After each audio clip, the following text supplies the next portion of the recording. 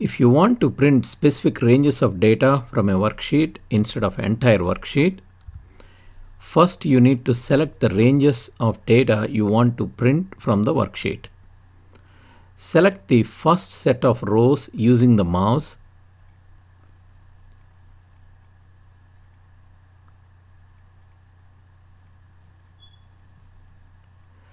For selecting subsequent ranges of data, press and hold Control key, then select the range of data using the mouse.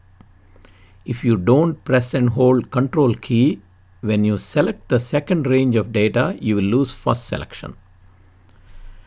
After selecting different ranges of data for printing, click on Page Layout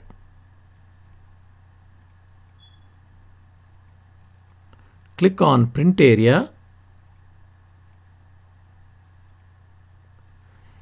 in the drop down list first click on clear print area just to clear any previous selections.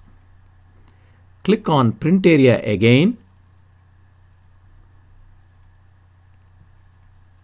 This time click on set print area. The ranges of data you selected in the worksheet are now selected for printing. To print the data, click on File,